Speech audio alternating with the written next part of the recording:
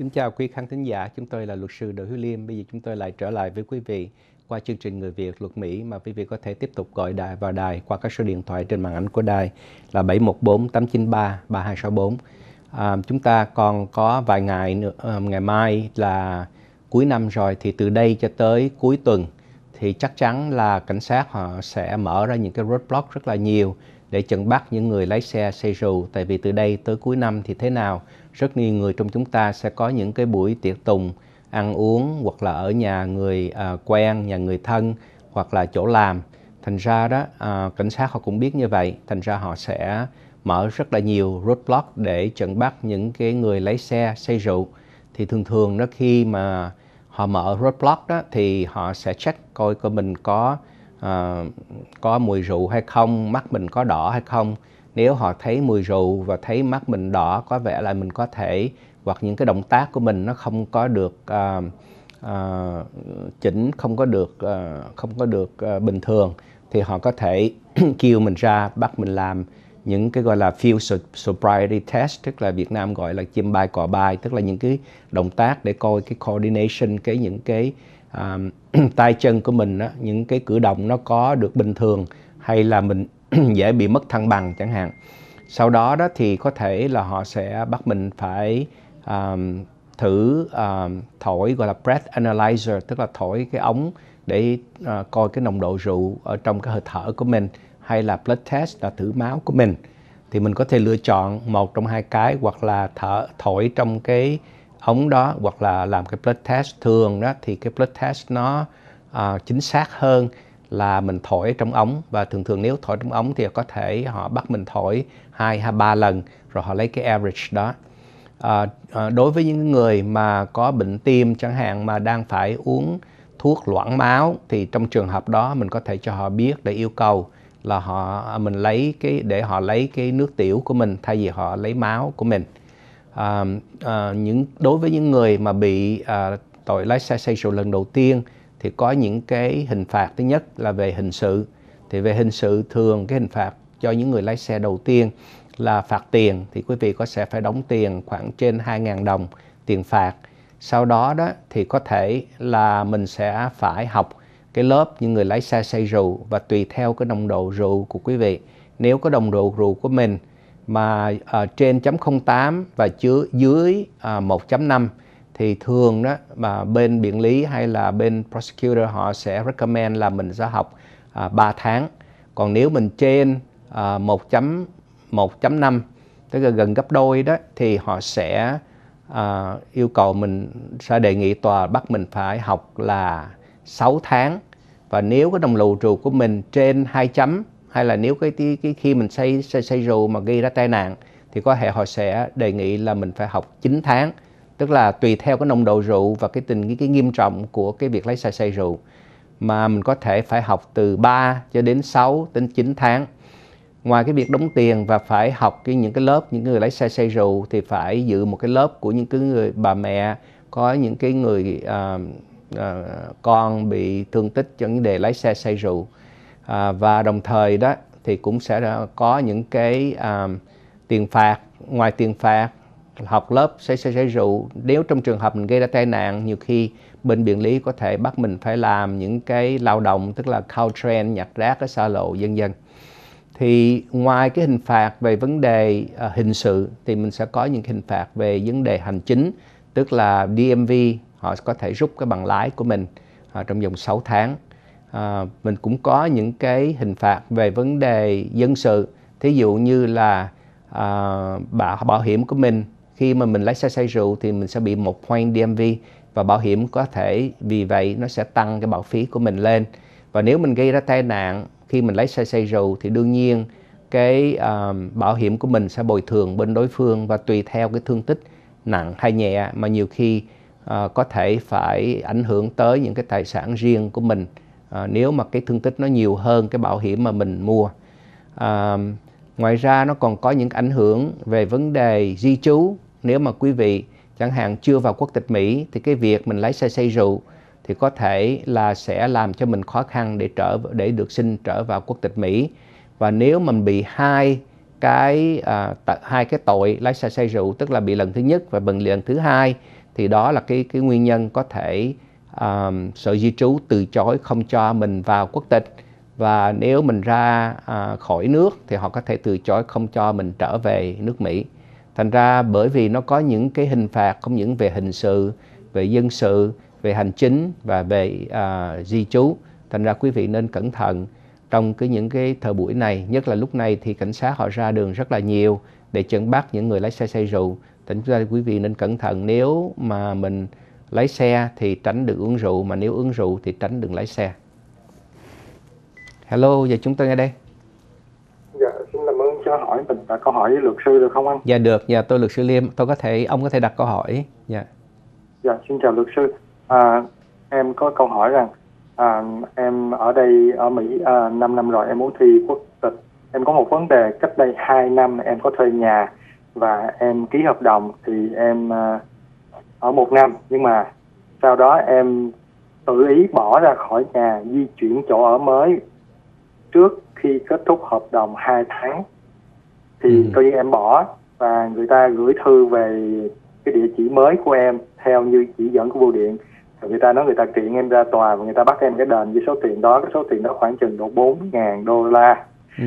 thì à, vì lúc đó hoàn cảnh em khó khăn quá em không có tiền để trả nợ em cũng không có ra tòa nữa nhưng mà em có nhận được cái giấy tòa cái giấy là người ta nói thưa em ra tòa rồi người ta nói ừ. em bad credit này kia kia nọ ừ. thì hỏi là những cái việc ra tòa đó và số tiền 4 ngàn bị phạt đó nó có ảnh hưởng tới cái việc em sắp sửa thi quốc tịch trong vòng thời gian sắp tới được không? Dạ không, không hoàn toàn không, hoàn toàn không. Ở Mỹ đó, những cái vi phạm về dân sự đó nó không có ảnh hưởng chi hết về vấn đề quốc tịch hết đó.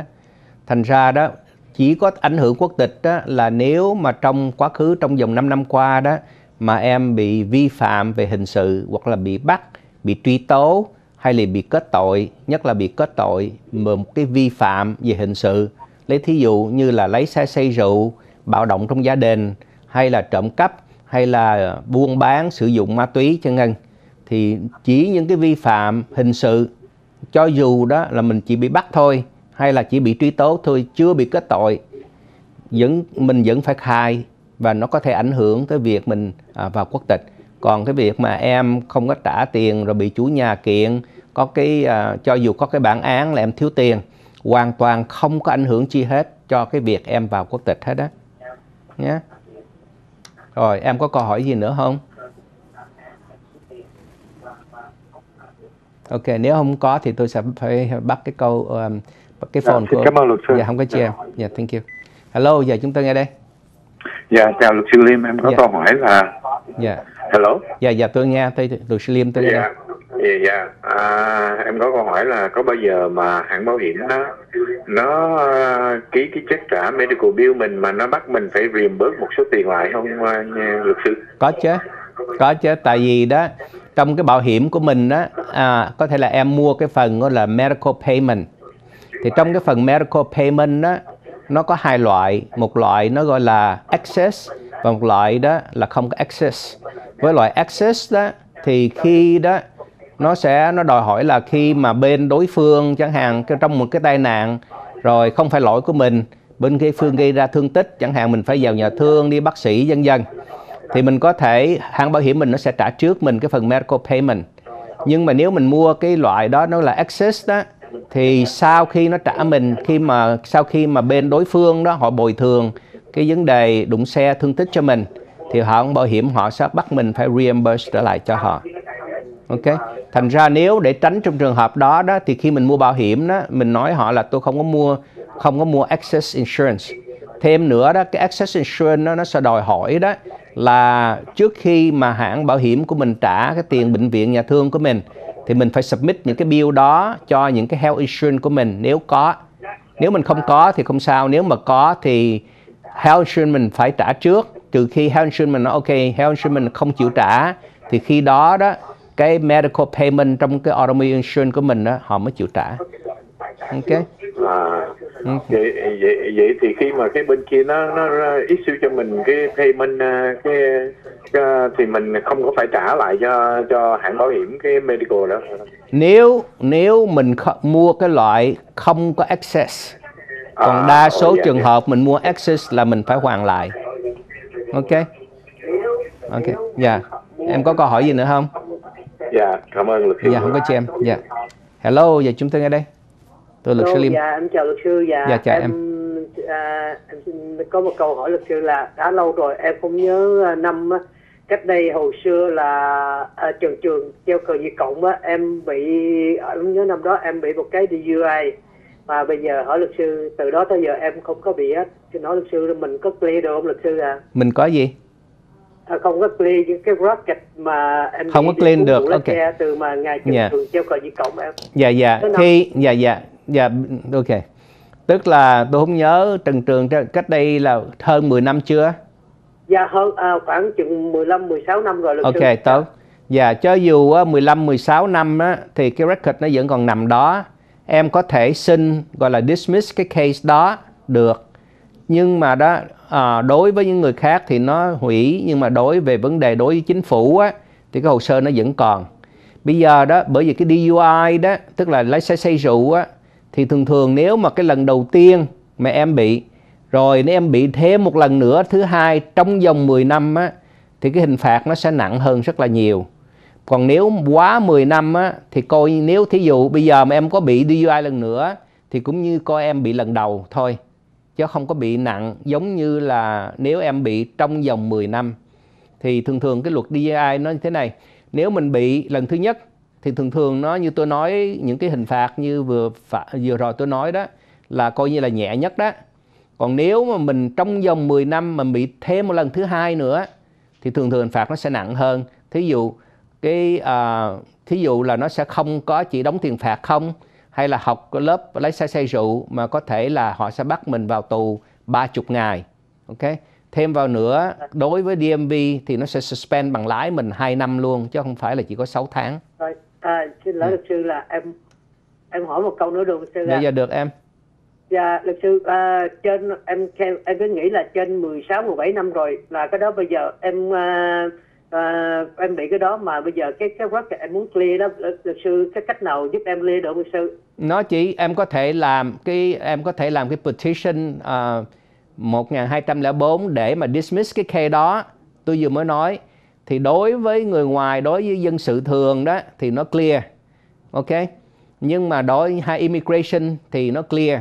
Nhưng mà đối với lại uh, những cái law enforcement hay là những cái cơ quan mà họ uh, phát những cái bằng lấy thí dụ như là bác sĩ, luật sư hay làm nail gì chăng nữa những cái người nào mà phải xin license á thì nó vẫn không clear. Dạ. Dạ, nó vẫn bị ảnh hưởng nhé. Ok. Dạ, tới đây thì chúng tôi phải tạm ngưng em nếu em còn câu hỏi gì nữa thì à, giữ cái... à, luật sư em nhầm mà bảo hiểm em bây giờ em rất em mua bảo hiểm nó rất là discount em good là không có gì bất cứ Đúng rồi, với bảo hiểm tôi nói là đối dân sự không thành có clear không thành vấn đề. Ờ, Em coi không có bị gì. cái quát chặt dài muốn clear để ờ, em có cái đó là em một quát là em dạ Nếu mà đối với bảo hiểm á, thì không sao, ok. dạ Có bảo hiểm thì không sao. Em cũng cần làm để mà như tôi nói cái petition để dismiss cái ờ, cái criminal record đó.